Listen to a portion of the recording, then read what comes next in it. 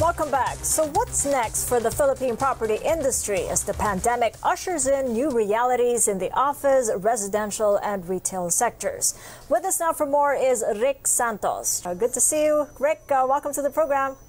Cathy, great to be back again, and uh, you know, obviously love your show. I think, with regards to the situation we're seeing in the property market, this is really uh, we've seen uh, multiple black swan events, one on the healthcare side and the resultant economic side. So uh, we've seen a, a, situation where we're uh, a number of countries globally are in the ICU. So we've said, hey, we need to have CPR, which is cash, pivot, resiliency in terms of the sectors. So you, you, talked a little bit about the office sector. So the office sector clearly is not dead. I think with the Philippines, I think people talk a lot about work from home.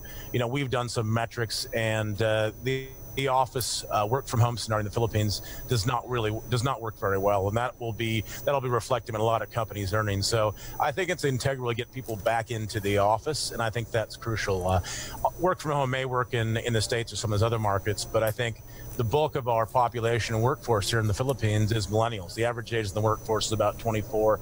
Studies around the world show that 20 to 30 year olds, even 40 year olds, really want to be in the office, and that's where a lot of the production creativity happens. So the office space is the office space sector is far from dead, and we definitely need to get people back into the office. Right. Uh, talk to us about those metrics, Rick, because we really hadn't been able to to get on with the new normal. We kind of have an idea that some of the people will have to work from home in the meantime, and others, while others have gone back to work.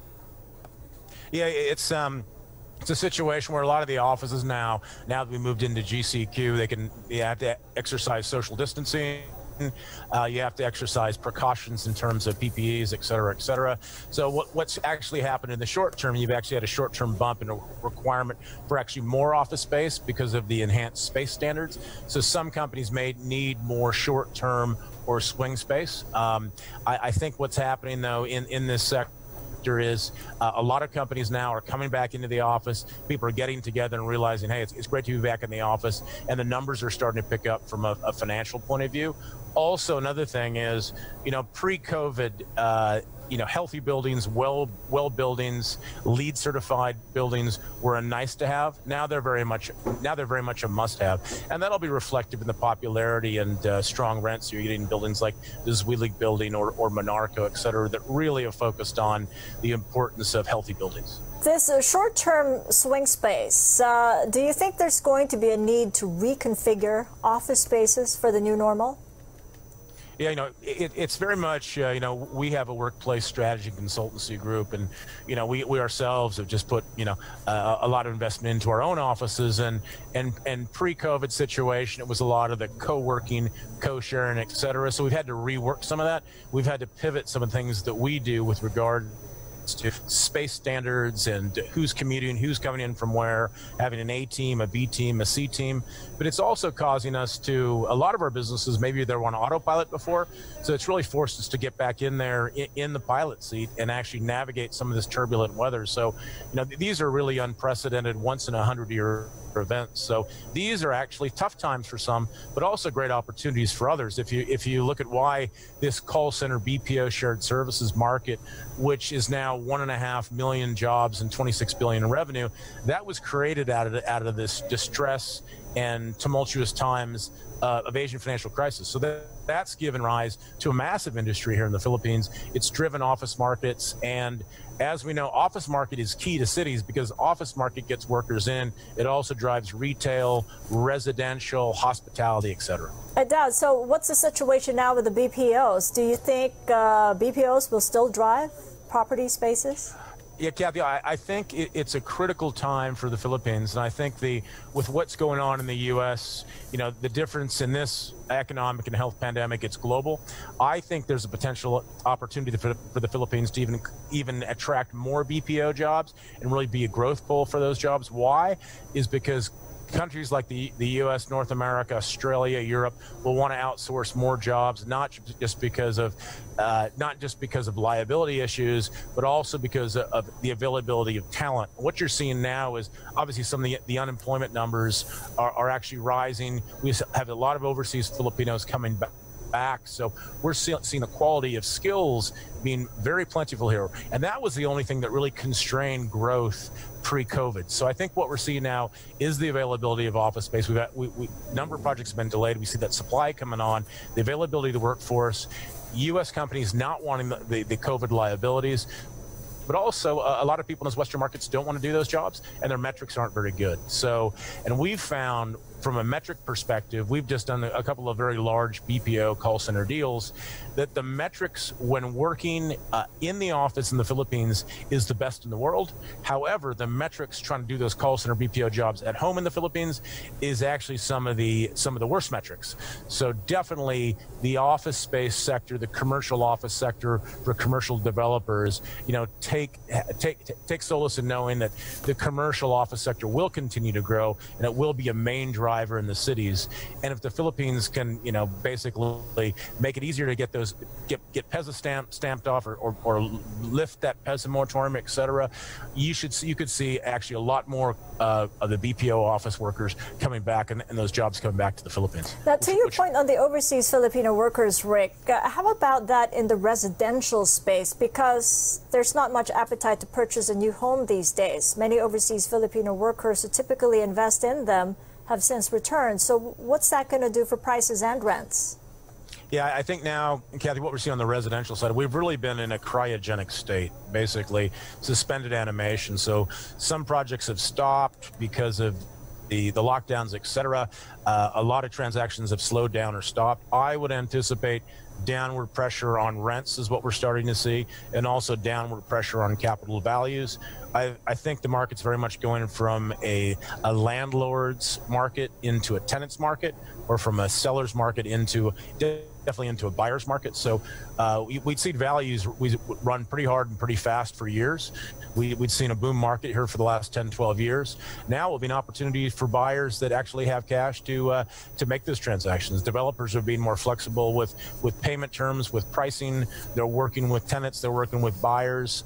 Um, and so it's, it's, a good market for buyers to get in there and make that first home purchase and uh, make that first condo purchase, et cetera. So uh, developers are being very flexible these days. And, and what about in the retail sector with, with e-commerce gaining more traction during the lockdown? What, what kinds of tenants would keep retail spaces in malls relevant post COVID-19? Yeah, the, the, retail sector and uh, and also the hospitality sector. It's no secret those sectors are getting hit hard with mall closures and whatnot.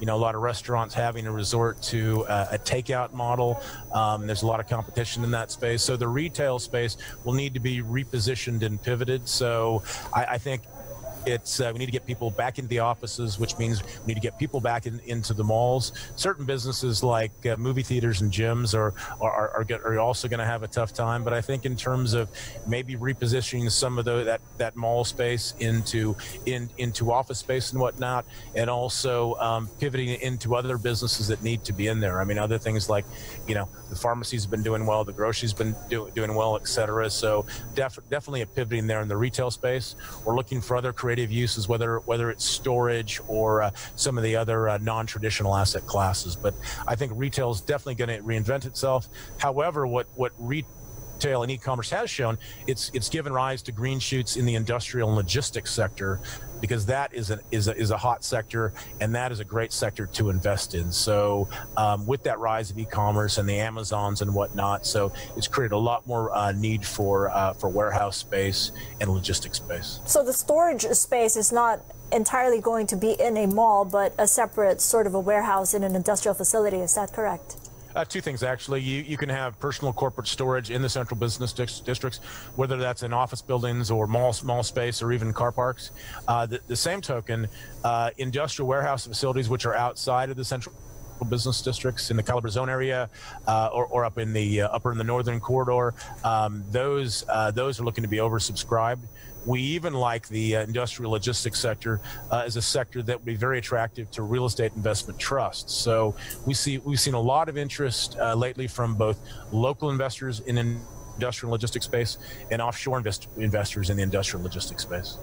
So, broad picture now, Rick. How, how soon before you see a recovery in property? Property, as you know, is um, closely tied to the economy, and the economy's tipped to go into recession.